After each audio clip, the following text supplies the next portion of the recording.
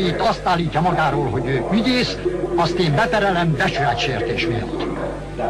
Kérném megkérdezni Elena Ceausescu vádlottat, hogy volt-e vagy van-e pszichés betegsége? Hogyan? Mi van? Hogy volt-e vagy van-e valamilyen elmebaja? Kérem a választ jegyzőkönyvbe venni. Igen, tehát volt-e elmebeteg vagy betegen jelen? De aljas provokáció. A legnagyobb büntetés a Ceausescu házaspár számára az volna, hogy éljen, de olyan körülmények között, amelyeket nekünk teremtett. Nem szégyellitek magatokat? Szégyen! Felneveltelek, mint egy anya. Hagyjatok békén, eresztetek el! Elárultál eresztetek el. bennünket. Hagyd! Nikolaj Ceausescu és Elena Ceausescu vádlottat egyhangulag halálra és teljes vagyonelkobzásra ítéli. Senki se lőjön többet.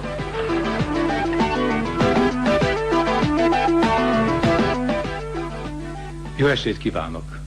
Az utóbbi évtizedek egyik legkegyetlenebb diktátorának és feleségének bírósági tárgyalását, kivégzését és temetését láthatjuk a most következő döbbenetes amatőr felvételeken, amelyeket egy román katonatiszt készített, természetesen parancsra.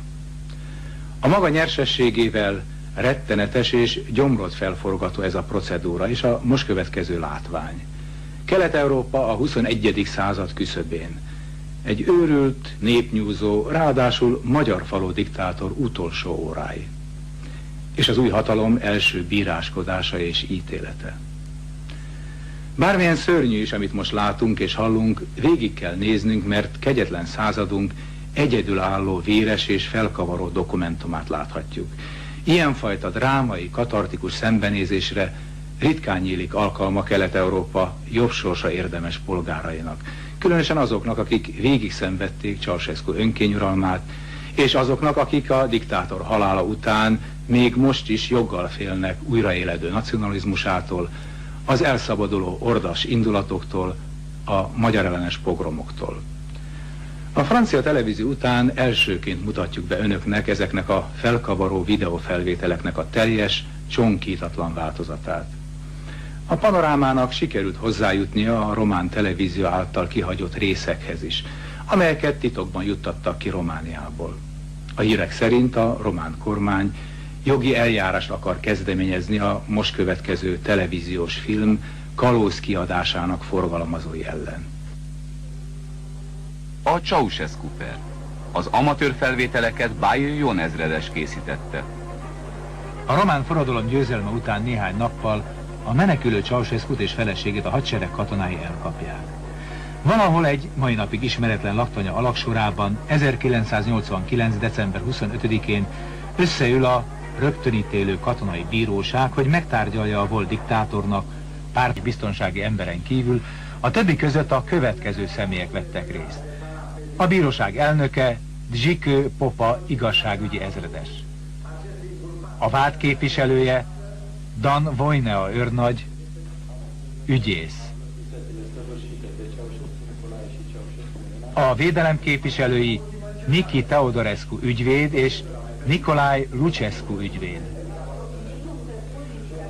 A tárgyaláson és a kivégzésen néhány katonatiszt és politikus is jelen volt. Így Viktor Stönkulescu, aki akkor vezérkari főnök volt, most honvédelmi miniszter. Valamint Gelu Vojkán Vojkulescu miniszterelnök helyettes. Csak is a nagy nemzetgyűlést. Ez a néptörvény Nagy széke. nemzetgyűlésen kívül nem ismerek el semmiféle más törvényszéket.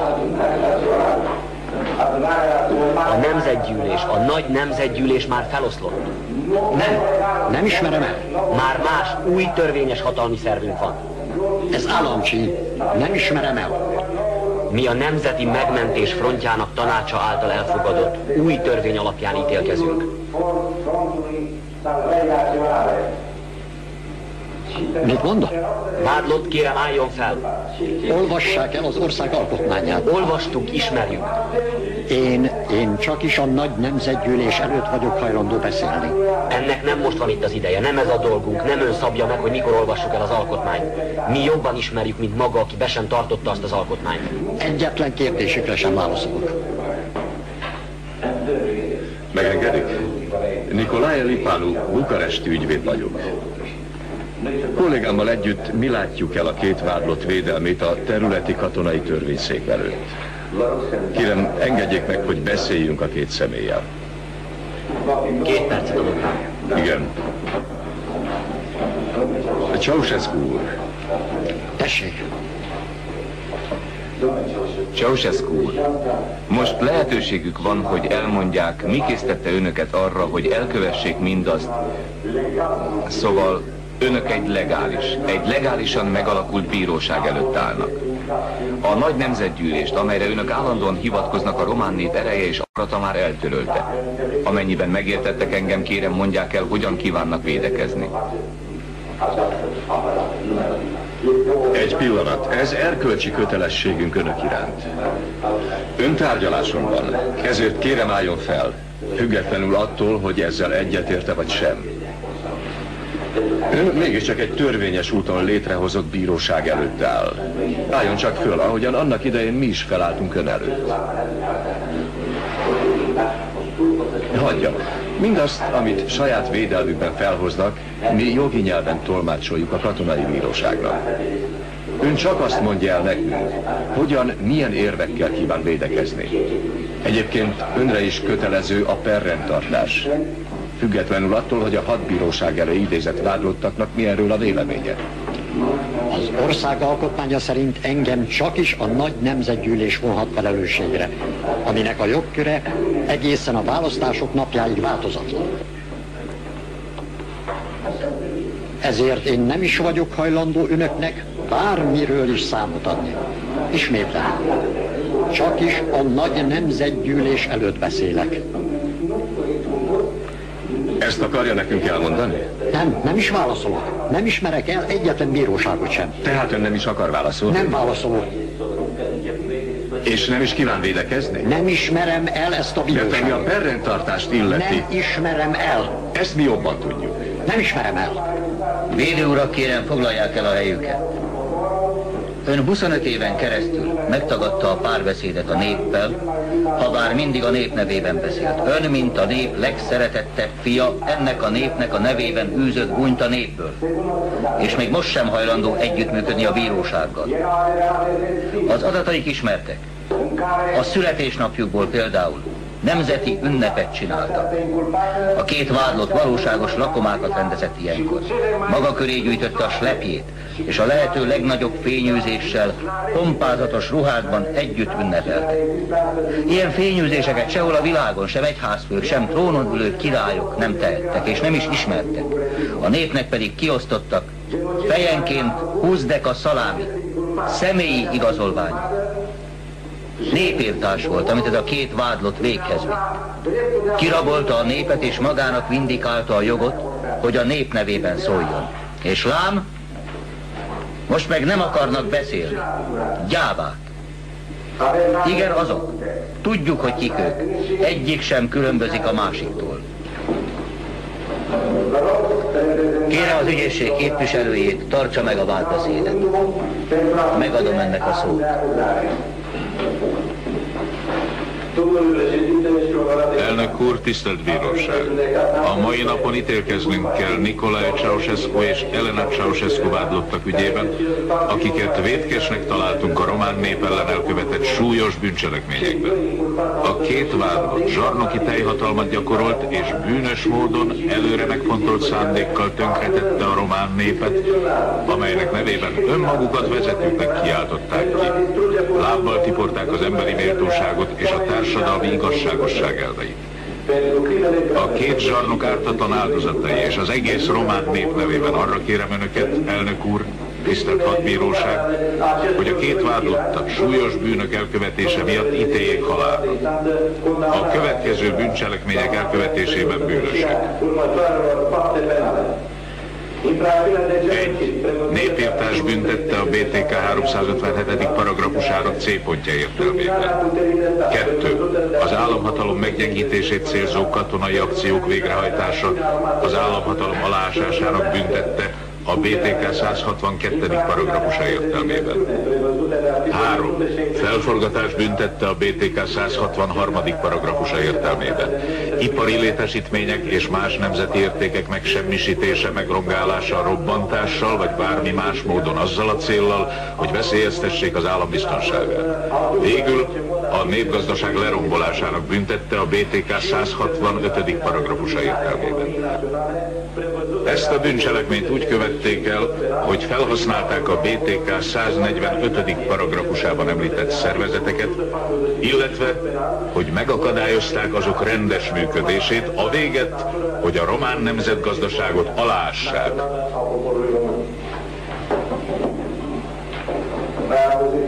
Nikolaj Ceausescu vádlott. Hallotta a vádpontokat.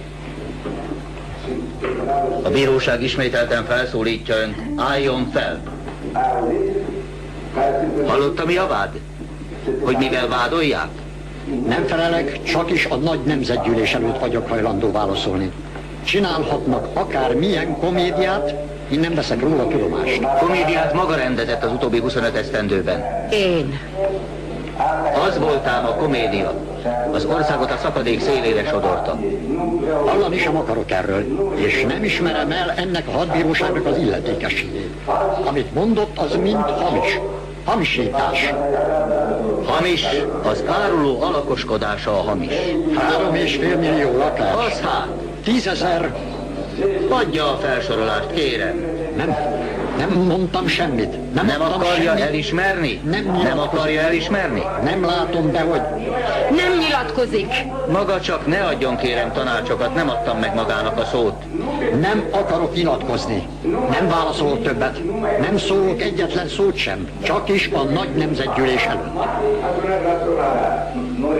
Kérem jegyezze fel, nem ismeri el az ellene felhozott vádakat. Mondhatnak, amit akarnak. Nem. Nem írok alá semmit. Igen, igen. A helyzetet ismeri.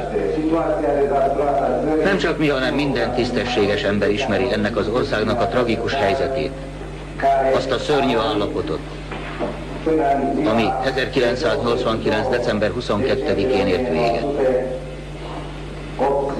Akkor felvirrat végre a szabadság hajnala.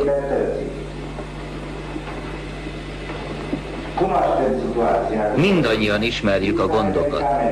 Például a gyógyszerhiány, amely a maga, igen, igen vádlott a maga parancsára oda vezetett, hogy emberek, gyermekek haltak meg a kórházakban. Mert nem volt orvosság, nem volt élelmiszer, villany és fűtés. Erre sohasem gondolt? Igen, erre sohasem gondolt? Nem. Most Nikolaj Ceausescu vádlotthoz beszélek. Ki rendelte el a temesvári mészárlást?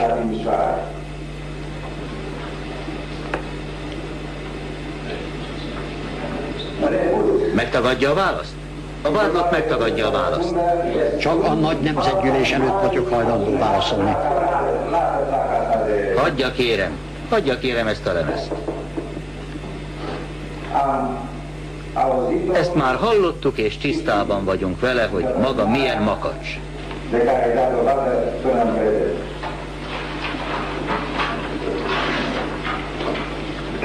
Írja kérem a jegyzőkönyvbe. A vádlott megtagadja a választ arra a kérdésre, hogy ki a felelős a temesvári mészárlásért.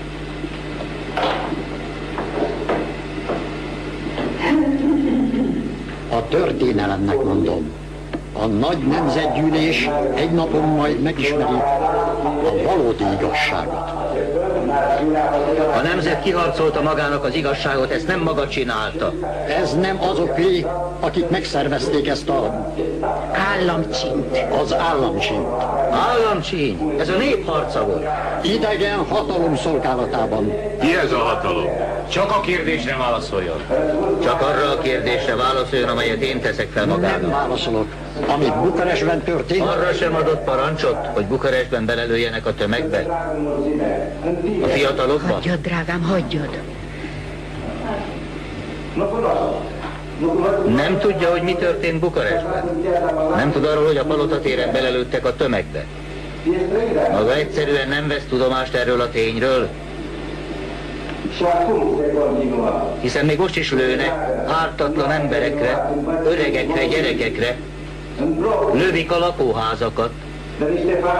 Valami fanatikusok, de kik azok a fanatikusok, akik lövöldöznek? És ki fizeti őket? Ki fizette őket? Egyetlen kérdésre sem válaszol.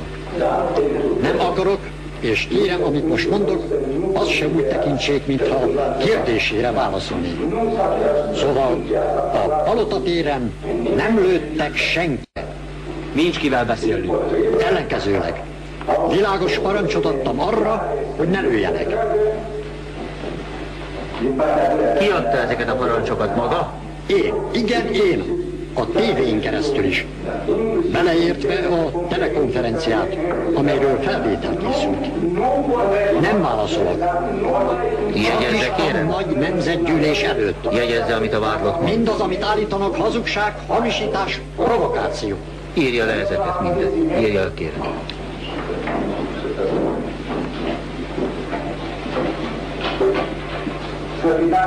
Írja kérem, nem én, vagy a cinkosaim adtuk ki a tűzparancsot a palotatéren. Egyébként nem is lőtt senki.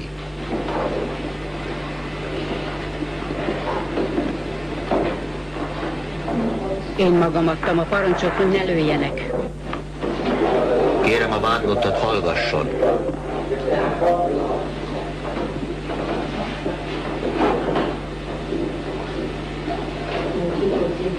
Azok után, amit a gyerekekért, az országért tettünk.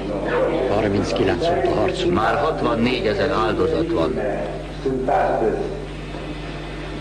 Ez marhaság. A maga utasításának köszönhetően.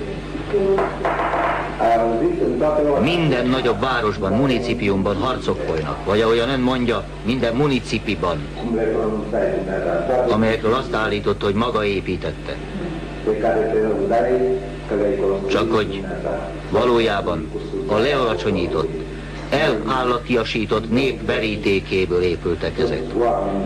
Maga minden értelmes ember, minden értelmiségit üldözött.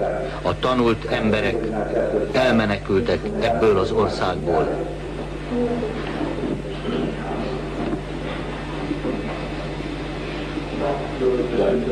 Csak mi maradtunk itt a maguk karmai között. Kérem, engedje meg. Igen, megadom a szót. Elnök úr, mondja meg a vádlott, kik azok a külföldi zsoldosok, akik szerte az országban még mindig lövik az embereket. Ki hozta ide és ki fizeti ezeket a zsoldosokat? Igen, kérem vádlott, válaszoljon a kérdésre. Ezt a népnek kell tudnia. Ez provokáció, és nem vagyok hajlandó válaszolni erre. Csak is a nagy nemzetgyűlés a nép előtt. A vádlott megtagadja a válaszadást, kérem, írja.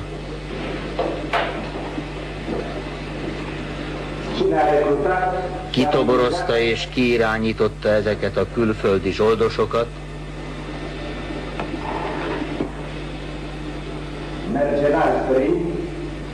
akik jelenleg is terrorcselekményeket követnek el a békés és ártatlan lakosság ellen. Kicsoda?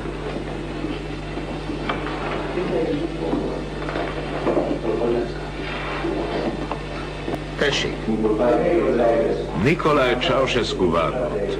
Azon kívül, hogy nem ismeri el ennek a hadbíróságnak az illetékességét, mi akadályozza még abban, hogy válaszoljon a feltett kérdésekre? Csak a nagy nemzetgyűlés és a munkásosztály képviselői előtt beszélek. Úgy, ahogyan eddig is?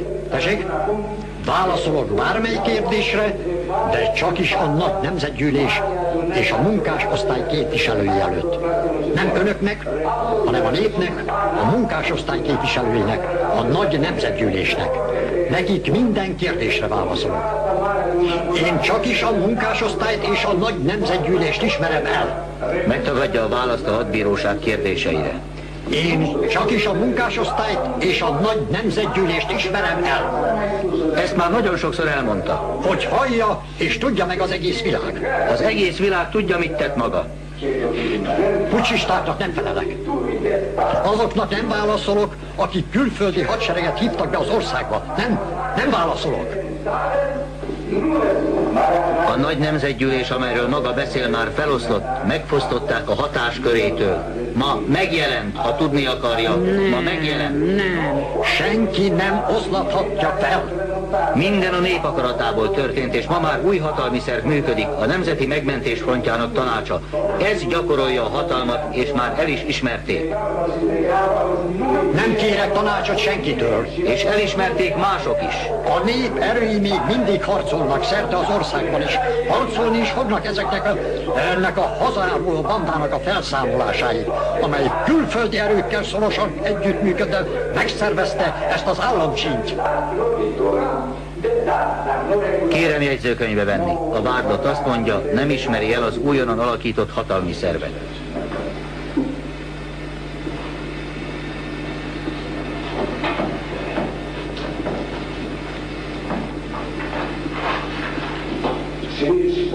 És nem ismeri el azokat a szerveket sem, amelyek idézőjelben bitorolják a hatalmat. Ezért zülleszti szét ma a nép az országot, és ezért harcol. Most ki ellen harcol a nép? Ön ellen harcol, a zsarnok ellen. A nép ellenáll. Ellenáll a függetlenségért, a függetlenségért, az önállóságáért, a területi sérthetetlenségért harcol. A vádlott a vádlott azt állítja, hogy most külföldi ügynökök segítségével gyakorolják nálunk a hatalmat.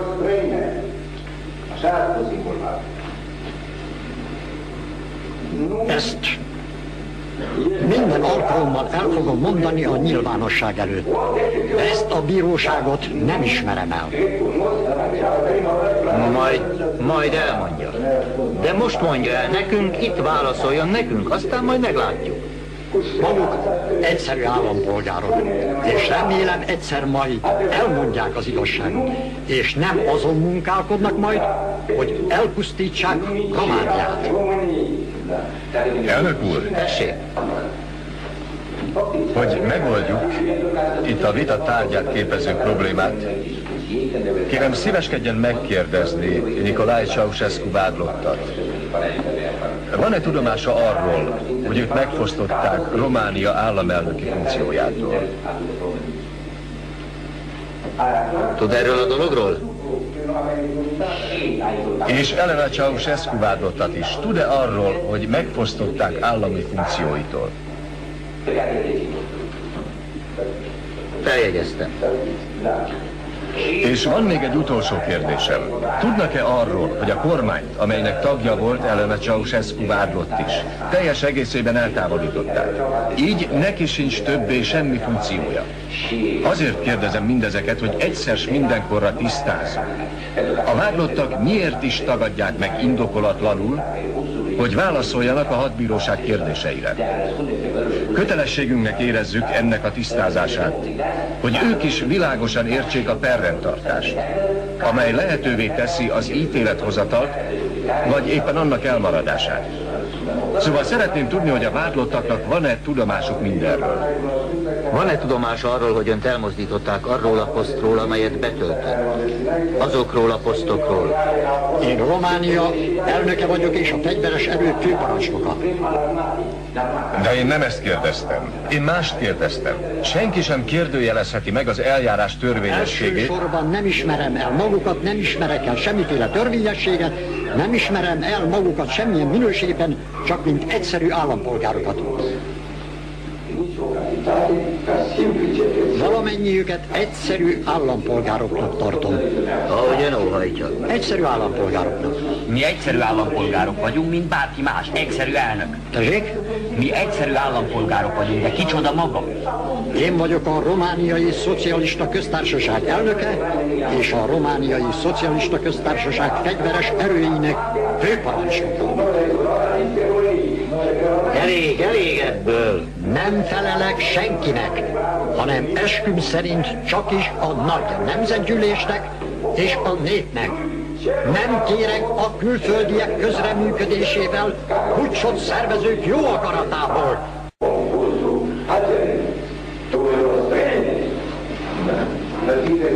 Igen, Ceausescu tette ezt. Nem. Látni akarjátok Ceausescu-t akkor, amikor... Nem. Mi minden lehetséges. Ez nonsens. Várlott, kérem, vegye tudomásul. Olvassák el. Jegyző úr, írja kérem a jegyzőkönyvbe. A vádlott nem ismeri el az ország új hatalmi szerveit. Azt állítja, hogy ő az államelnöke,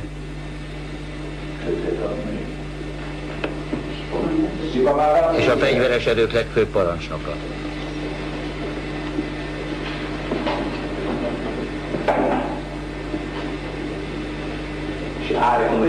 Van tudomása arról, hogy... Vádlott, miért halázta meg és mocskolta be a népet, és taszította ebbe a siralmas állapotba? Miért exportálta azokat a termékeket, amelyeket a parasztság megtermelt? Hiszen Bukarestbe jöttek a parasztok mindenhonnan, Karakálból és máshonnan, és az egész országból, hogy a fővárosban vásároljanak kenyeret. Azt a kenyeret, amihez a búzát ők termelték meg, és amit a maga útmutatása szerint vettek el tőlük. Mondja, miért tette mindezt? Miért éheztette ezt a népet? Miért éheztette? Nem válaszolok. De azt elmondom maguknak, mint egyszerű állampolgároknak, hogy a termelő szövetkezeti tagok most első alkalommal kaptak 200 kg búzát, személyenként, és nem családonként. És ki vette ezt el tőlük? És ezen felül, és ezen felül joguk volt még... Magának köszönetet mondani, igen. Ez hazugság. Azért mondom el ezt, A vádlott nem ismeri be, hogy éheztette a népet. meg. Ez hazugság, hamisítás, és jól mutatja, milyen aljas árulás történt az országban. Szóval maga utasítást adott, hogy a paraszt 200 kg gabonát kapja. Nos, ha ez így van, akkor miért jöttek a parasztok Bukarestbe? Mit csináltak a gabonával? Elásták? Pardon. Kérem szépen, majdnem minden faluban. Tisztelt Megpróbálom összefoglalni az elmondottakat. Ezt már ismerjük, mert maguk Hadbírósággal beszél. úgy beszélek önökkel, mint egyszerű állampolgárokkal. Egy állampolgárral beszélek, és én meghallgatok bárkit, bármilyen állampolgár. Nem beszélek, nem nyilatkozom, nem válaszolok senkinek sem, egyetlen kérdésére sem. Csodálatos programjaik voltak. Valószínűleg ilyen csodálatos program volt az is, hogy papíron leírtak valamit, és aztán a valóságban egészen másként festett az. Ilyen volt a falurombolás is, amely a valóságban azt jelentette, hogy Romániában elpusztítják a vidéket, és benne a parasság. Nos hát vádlott, vagy mondhatjuk úgy is, ha tetszik, egyszerű állampolgár. Elgondolkodott-e már ezen? Mint egyszerű állampolgár válaszolok. A román falvak sohasem voltak olyan gazdagok és fejlettek, mint ma. És szó sincs a román falvak lerombolásáról. Hanem éppen ellenkezőleg mi felvilágosítottuk őket, hogy biztosíthassuk, Nem áll szándékunkban megvitatni a román falvak egyszerű állampolgár beszélek. Csak azt kívántuk bizonyítani, Mondtam, kórházak, iskolák, orvosok, minden megvolt, ami a méltóság teljes élethez szükséges. A világon egyetlen országban sincs ilyen. ezt lát. Ezt, mint egyszerű állampolgár mondom önöknek. Vádlott az utolsó kérdés. Maga az egyenlőségről beszélt. Arról, hogy mindenkinek a munkája szerint kell megadni azt, ami megilleti. Láttam a tévében a maga lányának a házikóját. Volt ott egy aranymérleg is, amelyen a külföldről hozatott húst porciózta. Mert hogy a hazai hús nem is volt jó neki. Na hát, honnan szednek össze ennyi marhaságot? Ő éppen úgy, ugyanolyan lakásban él, mint bármelyik állampolgár. Akkor a villa kié? Miféle villa? Egyikünknek sincs. A mérleget meg törvényes úton Persze, kapta. hogy méricskéje a húst. Törvényesen kapta. Hogyan kaphatta volna? Nem vette meg. Na jó, és akkor a villát mondjuk? Nem voltak villáink. Persze, nem voltak villák, csak éppen palotákban laktak. Nem volt semmiféle palota. Jó, nem voltak paloták, És de nem a romániai gyerekeknek arra sem futotta, hogy cukorkát vegyenek maguknak, miközben Miközben a családtervezési törvényeikkel kikényszerítették a szüléseket. Bocsássa meg, egyetlen egy kérdésem volna. A 400 ezer dolláron felüli svájci folyószámlákról szeretnénk tudni valamit. A 400 millió dolláron felüliekről. Bocsánat, a 400 millió dolláron felüliről. Miféle folyószámla? Kinek a nevén van és ki ez a pénz? Miféle folyószámla? A svájci bankokban letétve helyezett 400 millió aranydollár értékű folyószámláról van szó. A bizonyítékokat, bizonyítékokat. Bizonyítékokat? Igen, bizonyítékokat. Nem létezik semmiféle folyószámla. Senkinek nincs folyószámlája. Ez a hazugság jól rámutat arra, hogy mennyire állokok és milyen provokatőrök azok, akik az államcsint végrehajtották. Úgy tűnik, nagyon szereti használni az államcsíny kifejezést. Még nem fejeztem be. Kérem, Kérem végig. Tagadom, hogy letétbe helyeztem volna én vagy más az én vagy a családom nevében.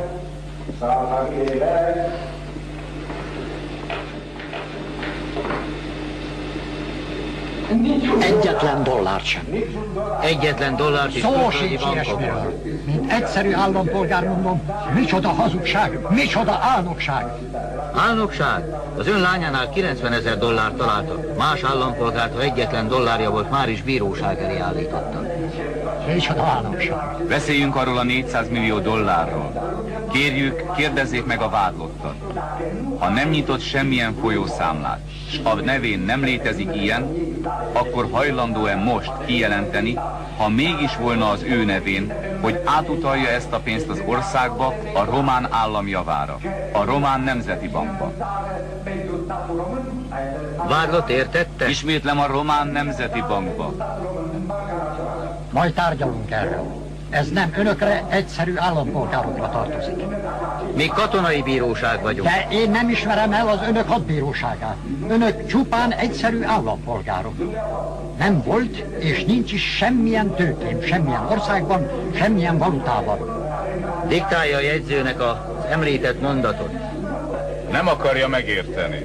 Nem ismerem el az önök bíróságát. Nem volt, és nincs is semmilyen tőkén. Ismétlem, semmilyen országban, semmilyen valutában. Nem volt. Kérem, térjünk át Elena Ceausescu vádlott kihallgatására.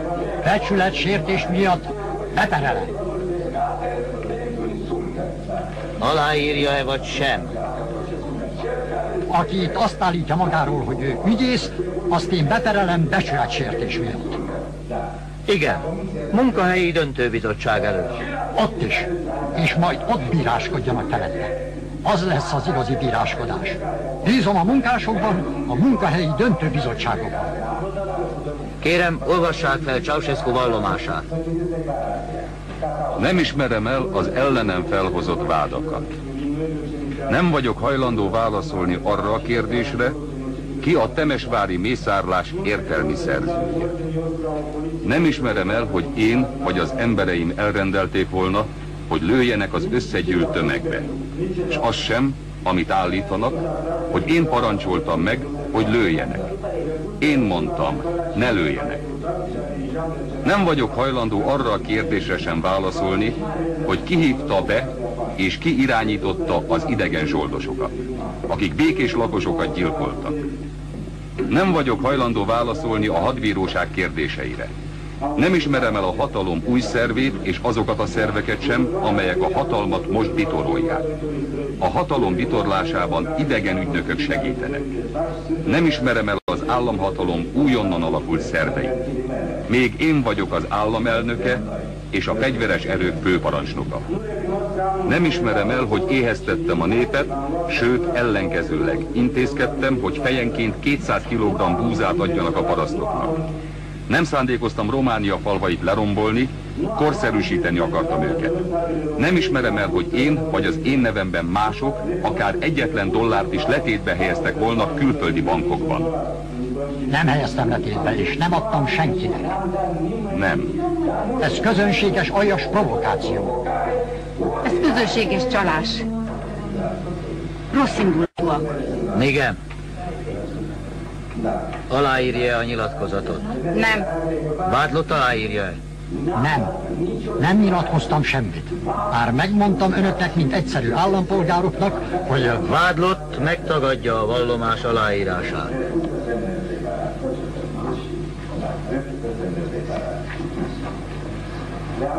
Vádlott egyébként a hadbíróság törvényességét sem hajlandó elismerni. És ennek az úgynevezett Nemzeti Megmentési Frontnak a törvényességét sem. Tehát tud a front létezését. Maguk mondták. Milyen tanács? Megmentési front. Hát informáltak már erről a frontról. Éppen maguktól hallottam. Most. Ez törvényesen megalakult államhatalmi szerv. Csak az államhatalom hozhat létre törvényes szervet, a nagy nemzetgyűlés. Akik államcsin és árulás útján kaparították meg a hatalmat, mint az Románia történelmében az elmúlt évszázadokban már többször is megesett, azok felelnek. Úgy végezték, hogy a nép színe előtt kellett felelniük tettükért. Asszonyom, ön talán jobban együttműködik a hadbírósággal.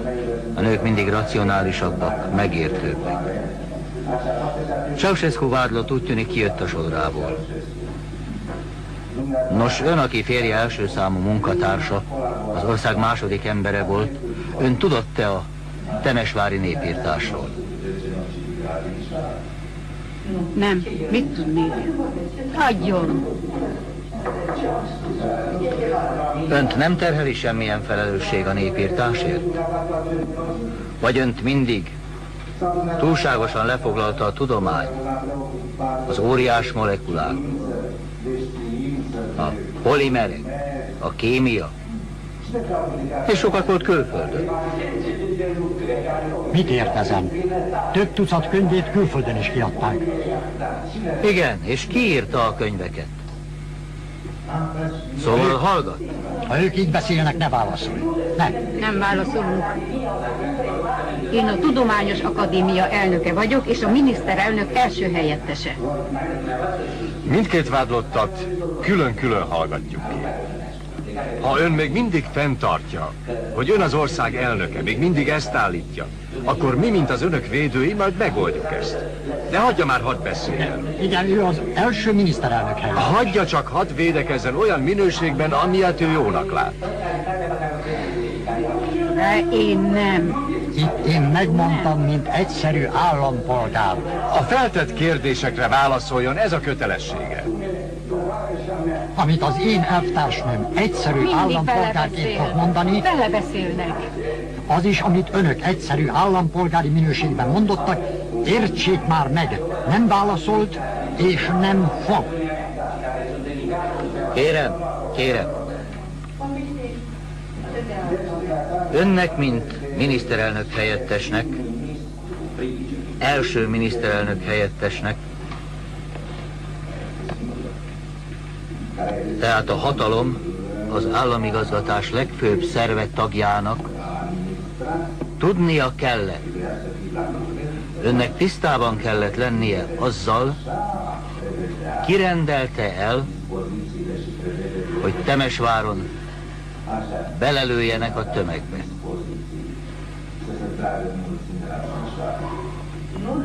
Semmilyen kérdésre se válaszolok. Egyetlen egyre sem válaszolok. Tudniuk kell, Nem tudom. neki nincs joga. Jegyezze, a vádlott ismét csak nem válaszol a kérdésre. Joga, hogy ilyen ügyekben utasítást adjon. A hadsereg nincs neki alárendelve. Ki adta ki a parancsot, hogy Temesváron lőjék a tömeget? Na és Bukarestben az ott elesett fiatalokat kilövette agyon? Azokat, akiken keresztül gázoltak a Szeku páncélosai. Állítólag a terroristák. A terroristák? A terroristák itt vannak. Az emberek azt beszélik, hogy itt vannak a terroristák, a szekú emberek. Tehát a terroristák a Szeku emberei. Ezt mondják. És a Szekú nem önnek a főparancsnoknak felel? Tessék? Tehát azt mondotta, hogy a terroristák a Szeku tagjai? Nem. Egyfajta fizetség ellenében. Kérem, kérem szépen. Ezt csak úgy mondom. Úgy. Elsősorban tisztázni akarom önökkel, mint egyszerű honpolgárokkal, Magával befejeztük. Mondja meg, milyen körülmények között halt meg Milea tábornok. Lelőtték? Ki lőtte agyon? Ez a kérdés Milea tábornokról provokáció. Kérdezzék meg az orvosokat. És a népet. Ne Őket engem kérdezzenek. meg. Én ezt majd kivizsgáltatom, mert tudni akarom, a tábornok miért lett öngyilkos. Miért váltotta le Mileát, és miért bélyegezte árulónak? Hallottam a kommunikét, amelyben ön annak nevezi és azt állítja, hogy Milea azért lett öngyilkos, mert el akarta kerülni a felelősségre vonást.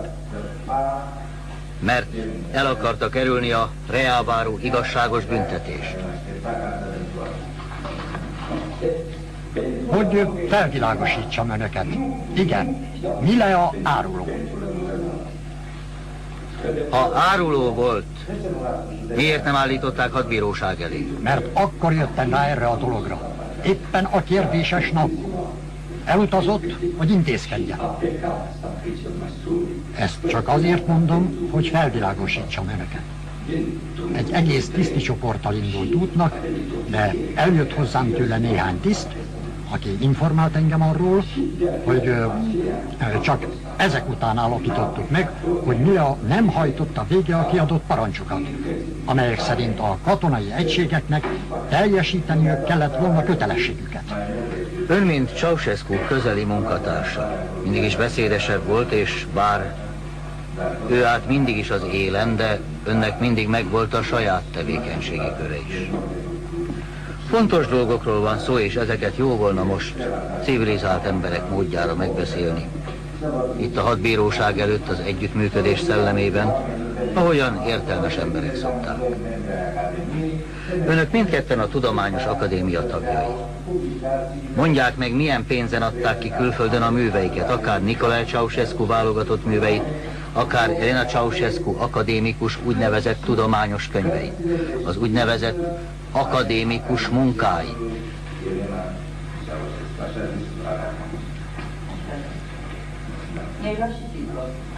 Mi az, hogy úgy nevezett? Már a címeimet is elvették? Vádlott visszautasítja az elhangzottakat. Ugyancsak az önök felvilágosítására mondom el. Azt terjesztették, hogy én csak is külföldi élelmiszert fogyasztottam. Évek óta listák keringenek arról, hogy én mit eszem. 1100, 1200 kalóriát naponta. És csupán A népet pedig 60 ezt a népet ugyebár agyonetette. Elnök úr, Felvilágosítom önöket, hogy elnök úr, visszatérnék egy előző kérdésre. Ki rendelte el a hadseregnek, hogy folytsa vérbe a temesvári tüntetést? Mert a vádlott szerint Milea tábornok nem teljesítette a kapott parancsot. Miben állt ez a parancs, és mit nem teljesített Milea? majd a nagy nemzetgyűlésben elmondom, milyen parancsokat nem teljesített Milea, és miért lett áruló. Igen. Kérném megkérdezni Elena Ceausescu vádlottat, hogy volt-e vagy van-e pszichés betegsége? Hogyan? Mi van? Hogy volt-e vagy van-e valamilyen elmebaja? Kérem a választ jegyzőkönyvbe venni. Igen, tehát volt-e elmebeteg vagy betege jelen? De aljas provokáció. Ez nem provokáció, ez az ön védelmét szolgálja. Mert ha nem felelős a tetteiért, az egyfajta védelmet jelent önnek. Ha viszont felelős értük, akkor Lehet megint másfajta védelemre van szüksége. Hogyan? Tulajdonképpen önöknek mindig is az volt szokásuk, hogy soha nem bocsátkoznak párbeszédbe a néppel. Ebből a vitából minden világos lett a számomra. Csak uraságot szokott monologizálni, utána pedig a népnek tapsolnia kellett. Ez valamiféle afrikai szokás.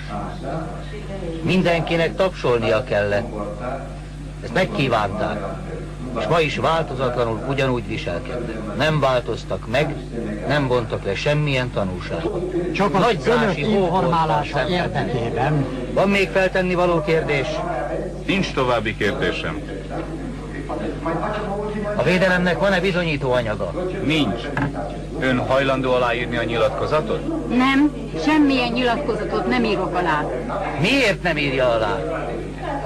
Nem írunk alá semmit. A vádlottak tehát, kérem ezt jegyzőkönyvezni, a vádlottak tehát egyrészt nem ismerik el a bíróság illetékességét, másrészt nem hajlandó semmit sem aláírásukkal hitelesíteni. Igen, nem írunk. Semmit a világon nem írunk alá. Kérem mindezt jegyzőkönyvbe venni. 14 éves korom óta dolgoztam, és harcoltam a népért. Egész életemet a népnek szenteltem. Így álmodtuk meg az egész életünket. Most sem áruljuk el a népet. Utána néztem, kérem, az ön születésnapja valamikor a férjéjé előtt vagy utána van. Na és? Sose tudtam meg a születési évét. Na hát ez mások. Ez női dolog. Nem érti?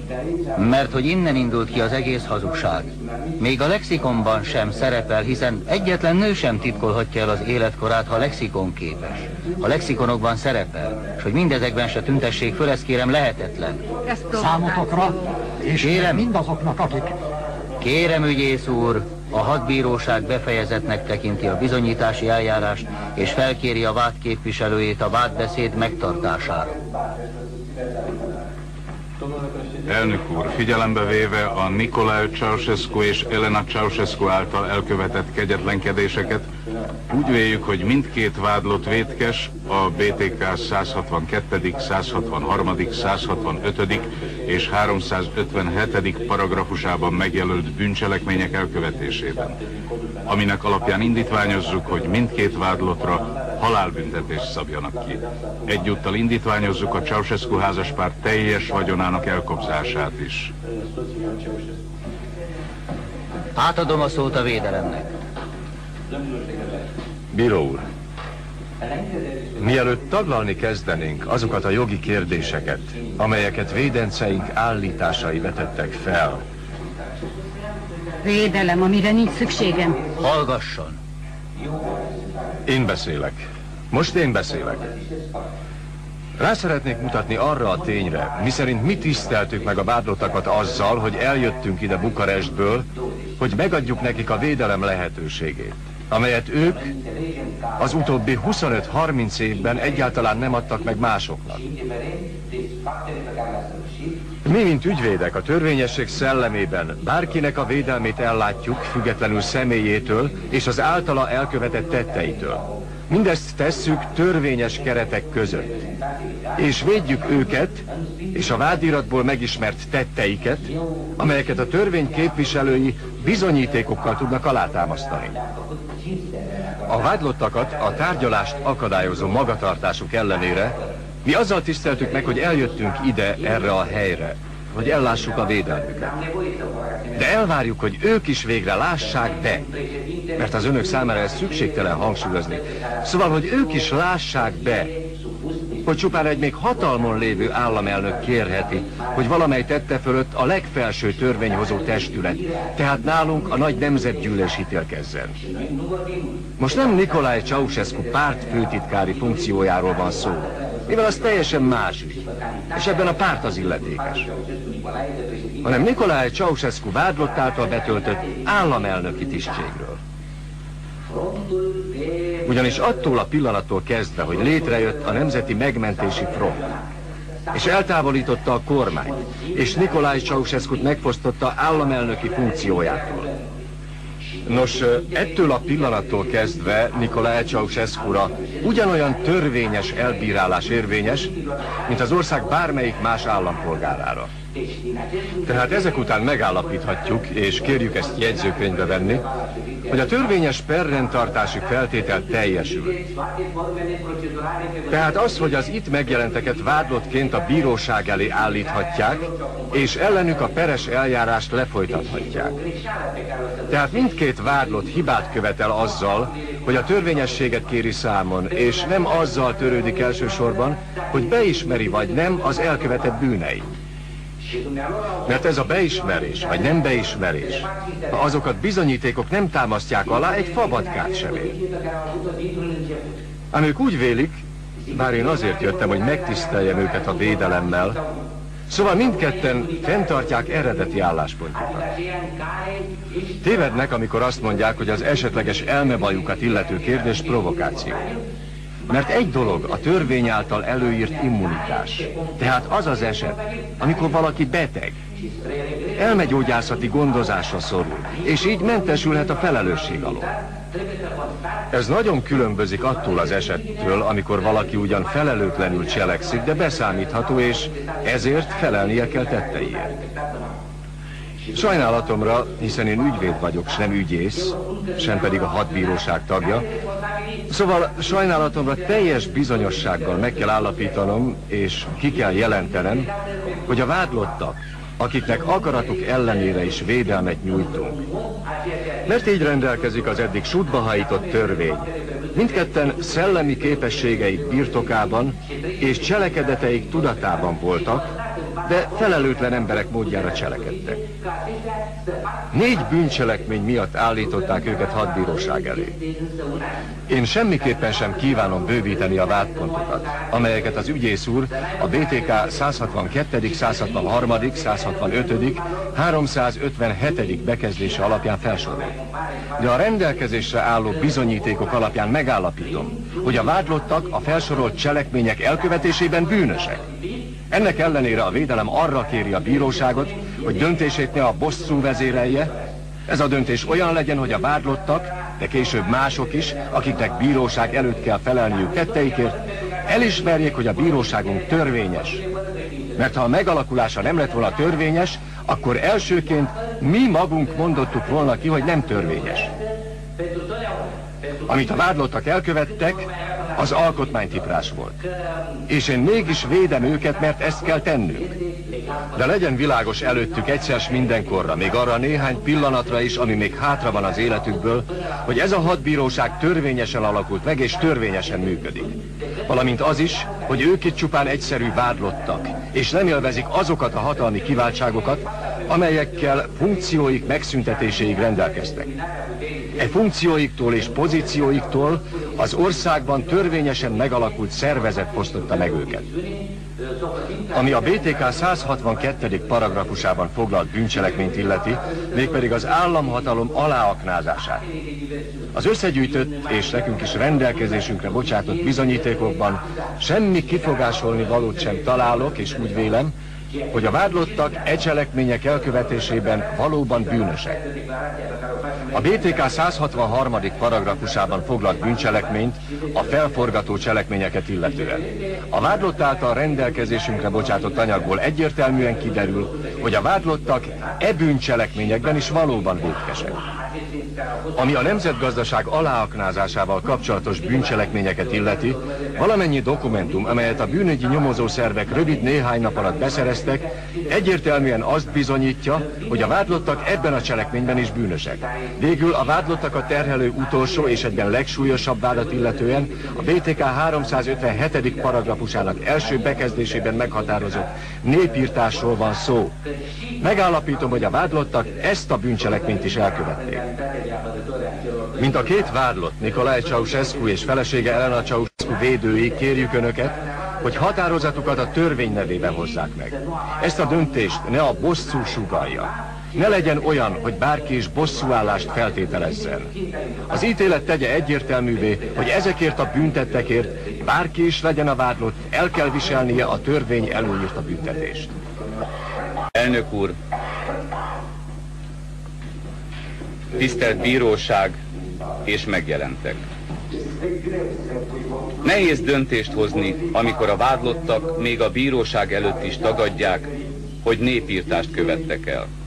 Nem csupán most, Temesvárot és Bukarestben, ahol ezekben a pillanatokban is folyik a harc, hanem immár 21 néhány éve folyamatosan.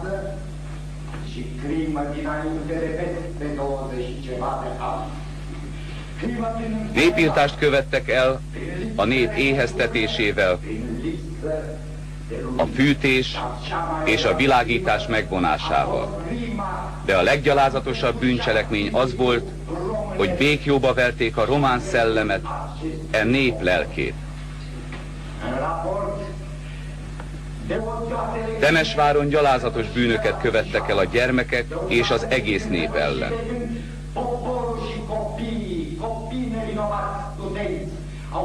Tankok lánctalpai tapostak el ártatlan gyermekeket és diákokat.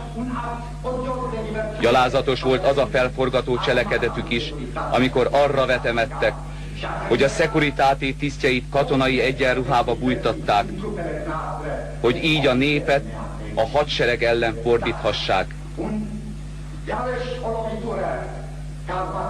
és hogy ebben a zűrzavarban önök ketten időt nyerhessenek.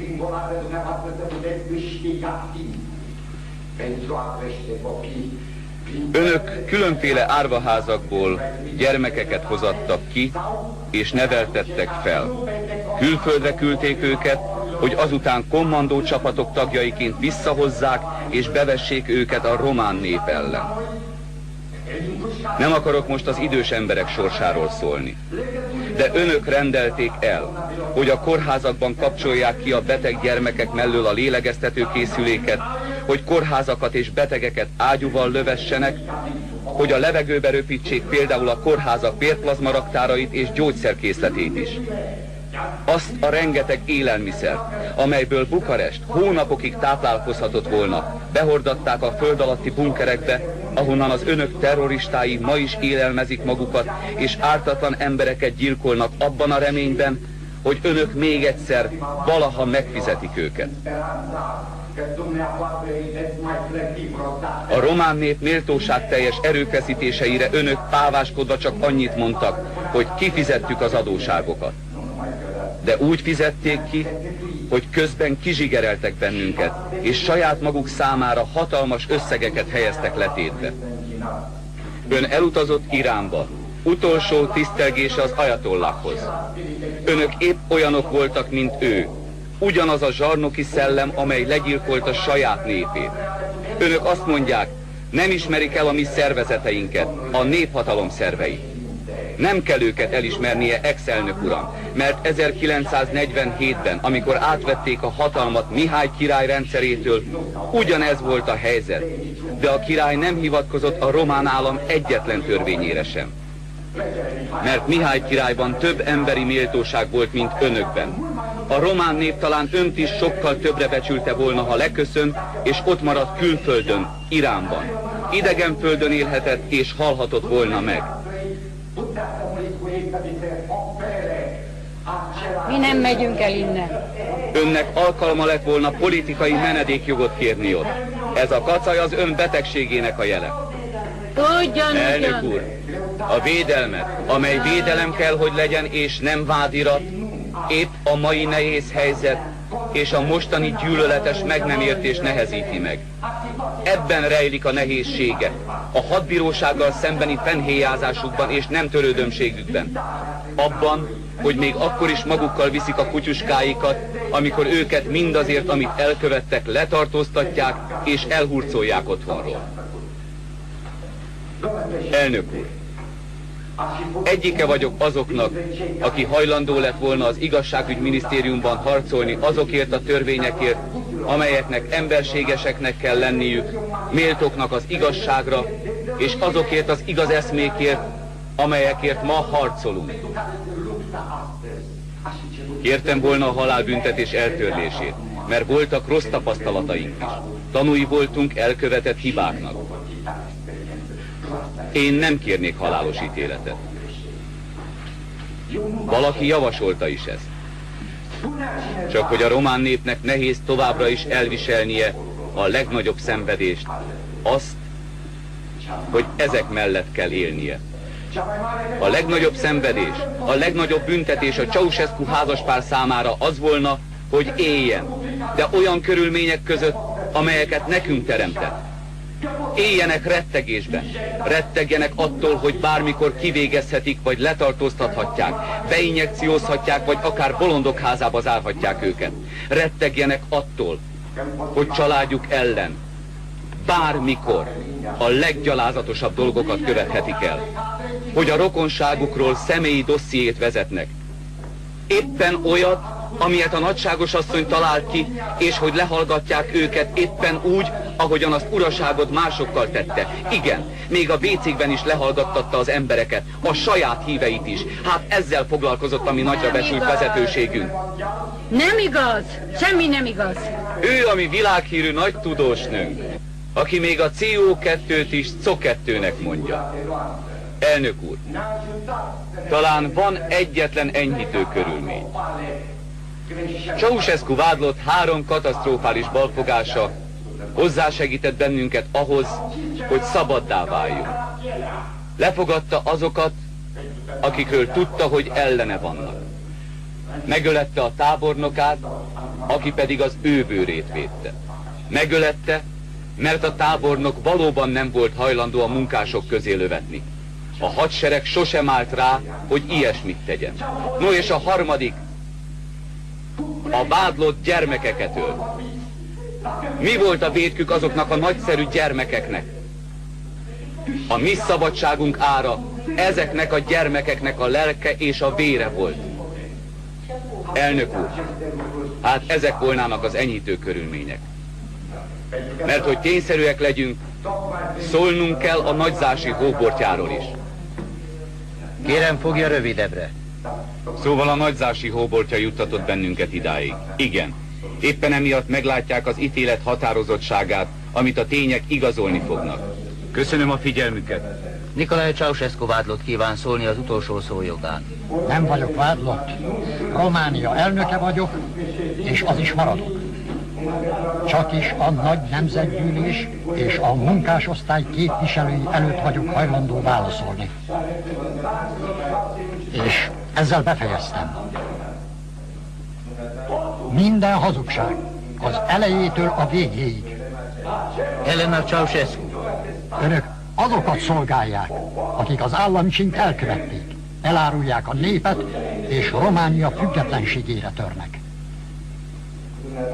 Magával nem lehet civilizált emberhez méltó párbeszédet folytatni. Olyan emberekkel. Logikusan nem lehet beszélni. Korrekt emberekkel.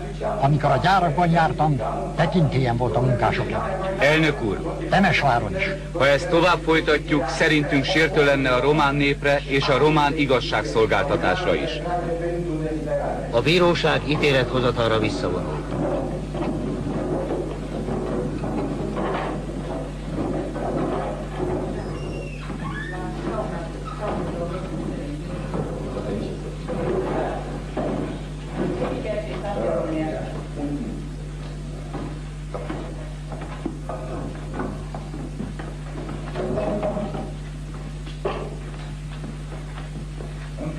Álljanak fel. Nem, drágám, emberek vagyunk. A törvényszék, a törvény és a nép nevében, titkos szavazással Nikolaj Ceausescu és a Ceausescu vádlottat egyhangulag halára és teljes vagyonelkobzásra ítéli a következő bűncselekmények elkövetéséért.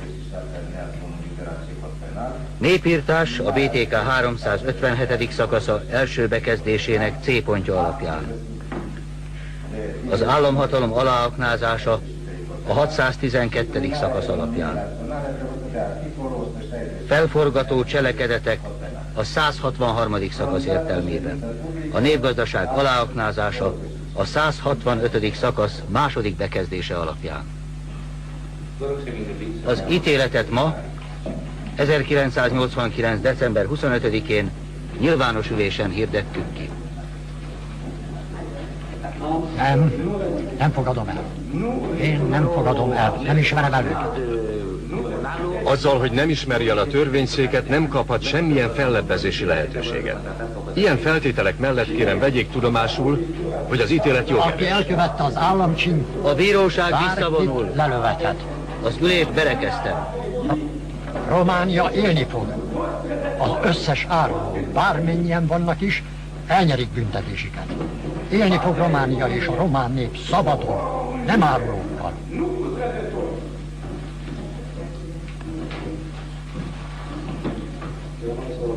Maradjanak a helyükön.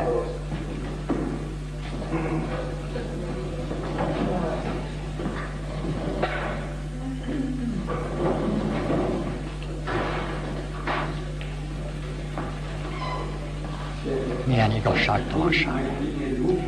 Jobb elveszni a harcban teljes dicsőséggel, semmint rabszolgának lenni. Milyen igazságtalanság! Milyen igazságtalanság! Hallottad őket? Hallottam. Ezek mind eltársaink voltak. Na hát ez szokott történni, ha elárulnak bennünket.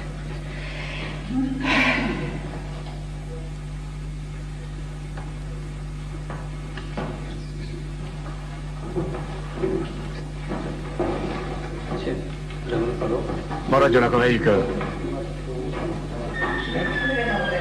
Mit akartok ezzel csinálni? Ne! Mit akar csinálni maga? Mi ez? Kérlek, mi ez? Még egy katona jöjjön ide. Ne tedd rám a kezed. Kérlek, ne, ne, ne! Kérlek, ne kötözzetek meg. Nem akarom. Ne sértsenek meg. Jogom van úgy meghalni, ahogy akarok. Megkötözetlenül megyünk. Úgy van, úgy van, megkötözetlenül. Nem, nem kötözhettek meg. Megkötözetlenül. Nem szabad megkötöznetek. Megkötözzetek meg. Mégis megkötöztök. De igen, ti féltek a néptől? Jogom van, jogom van. Féltek? Féltek? Hé, disznó, gyerekek, gyerekek, normálisak vagytok? Ne törjétek el a kezem. Hé, gyerekek, hát nem az anyátok vagyok. Ti gyerekek vagytok? Jól tudjuk mi, hogy kik vagyunk. Azok a tátétól vannak. Fogd a Hallottátok? Nem szégyellitek magatokat? Szégyen. Felneveltelek, mint egy anya. Hagyjatok békén, eresszetek el. Elárultál bennünket. Hagyd! Engedjetek el. Gyere, hagyd! Eltöritek a kezem. Engedjetek el. Miért teszitek ezt? Mi van itt? Mindenki. Engedjetek el. Hé, gyerekek, hé, te fiú, ne vigyél. Na és kik azok, akiket Bukarestben meggyilkoltatok? A mieink? Bukarestiek, a testvéreink, a mi szabad népünk. Kicsoda? A mi szabad népünk. Mi az ő gyerekeik vagyunk. Ezek hazugságok. Azoké, akiket megöltetek. Nekünk nem hazudik senki, nekünk nem hazudik senki. Ki hazudozik? Mi? Egyikünk sem hazudik maguknak. Elég volt. Álljatok le. Senki se lőjön többet.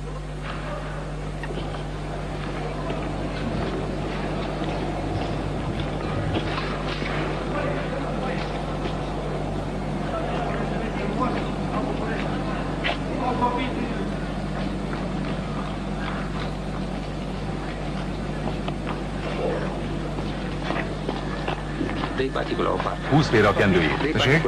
Húsz félre a kendőjét.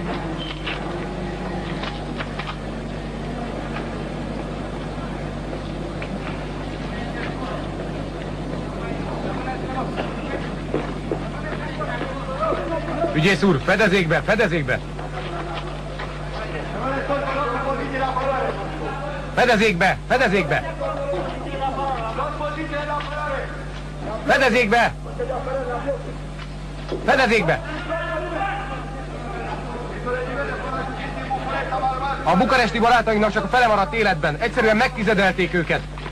A ti testvéreiteket. Emeld meg. Emeld meg, hogy lássuk. Emeld meg. Emeld feljebb a fejét. A fejét, emeld meg.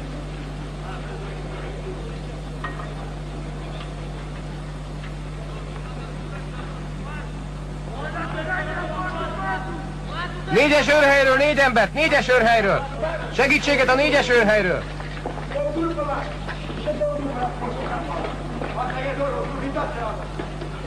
Futás! Futás! Négyes őrhelyről négy ember! Engedd el! Engedd el! Kapitány elvtárs! Menjetek oda! A helikopterhez!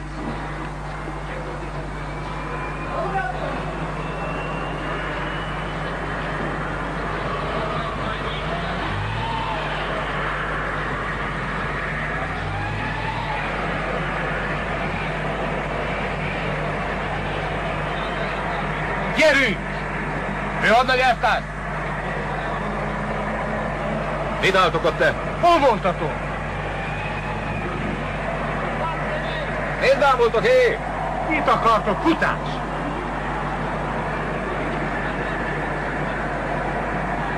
Gyerünk már, nem hallottátok?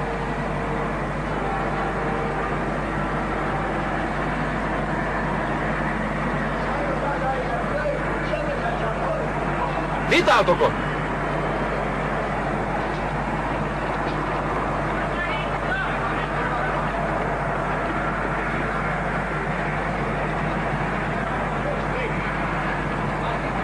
Futás!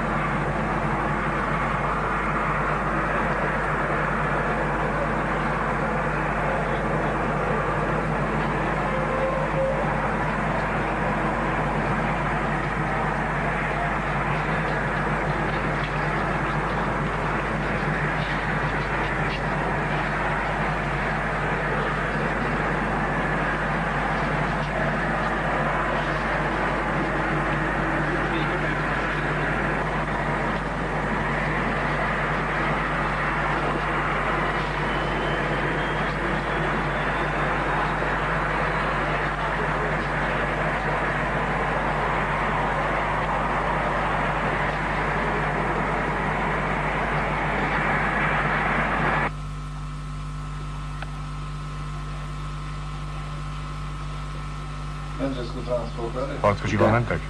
Igen.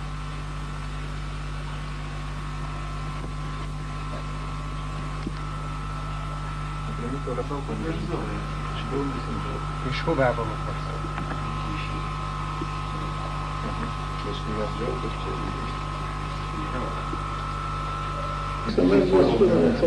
Fel ne borítsd. Mit csinálnak itt? Tett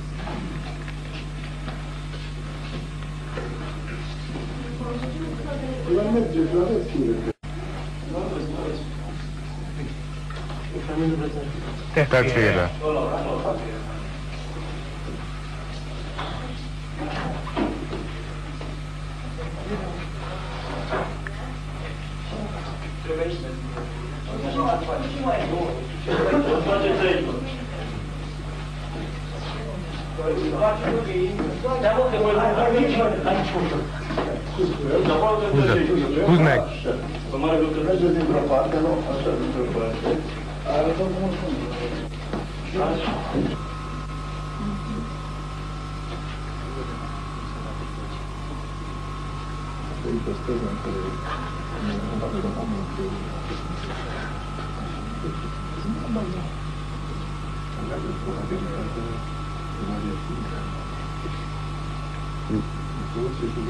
Băgați pe post? Az őrséget megerősítik? Nem, nem tudom mi a szokás itt.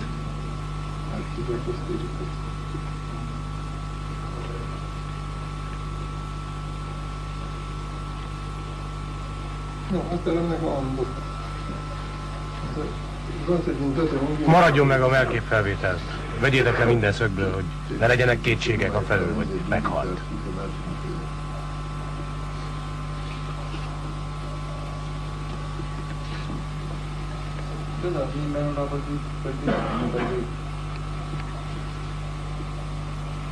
Bărba mai crește. És a szakáll az nő még a halál után, ugye? Miután meghal az után is, ugye? Persze, persze. Ahogy is a körül. Csak 48 óra után? Ja, uram, a burokban született kísértetté válik. Nem, nem. Garantáltan szépek vagytok. Nu ne dacă e născut cu căită în cap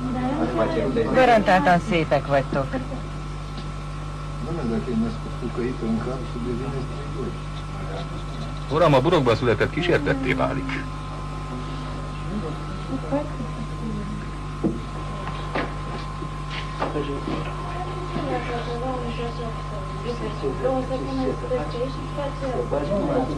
Ezt is tegye oda.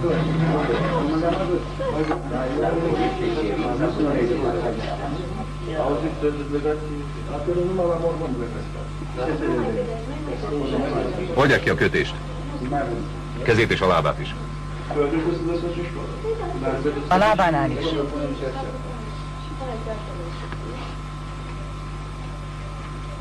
Ezt is tegy oda. Ezt ő így szokta viselni.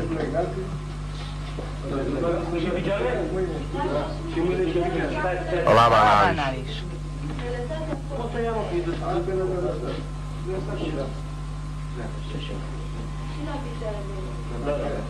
Lábánál is.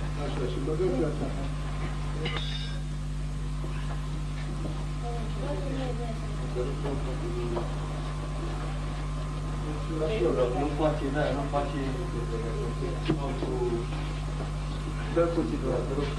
is. Add azt a kést, légy szíves.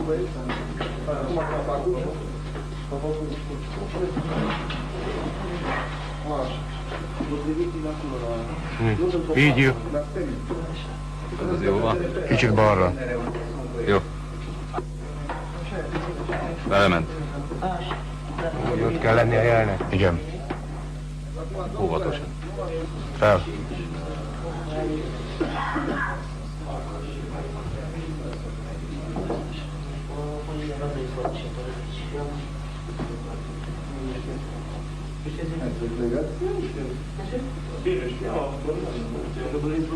Így, így.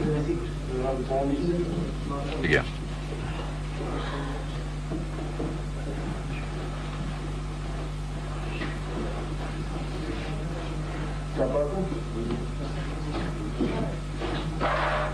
A fedelet. Óvatosan. Úgy fel, fel. Most.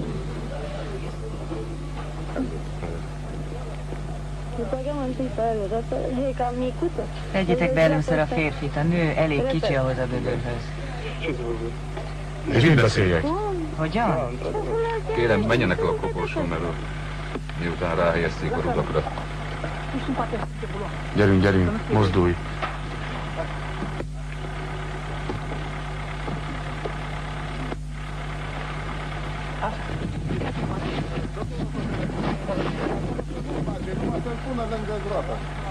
Na gyerünk, mozogjál, mozog. Leszegeztétek? Igen.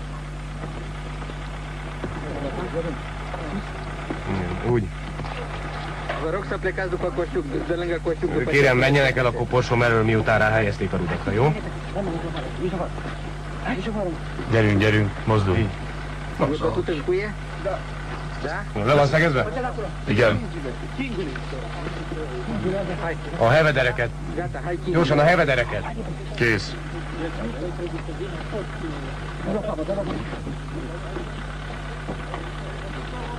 Óvatosan.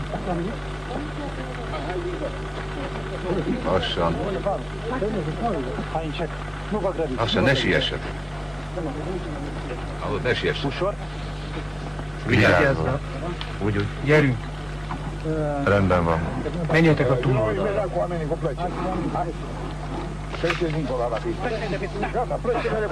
Túloldalra is.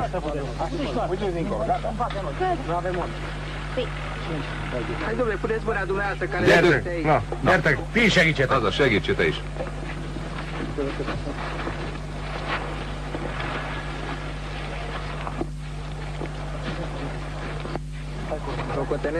Hadnagy, nézen körül hadnagy.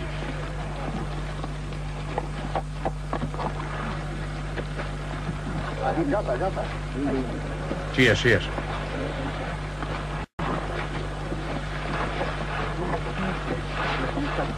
E scurtă, mai aia. Vigyázz, mert rövid, nehogy eltörjétek a kezeteket. Húzd arrébb.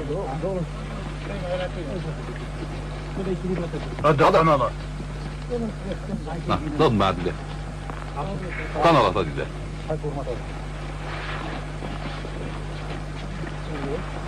Arunca acolo, arunca acolo. Stria de aici.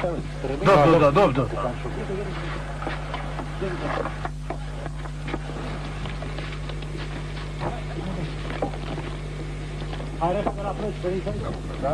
Le-au luat? Vettek neki kereszted?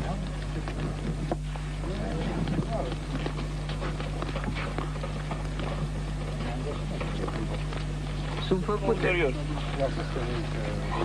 Van, van kereszt.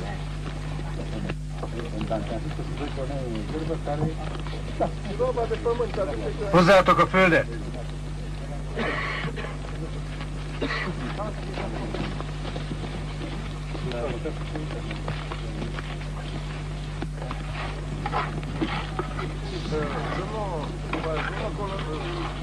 Nelu.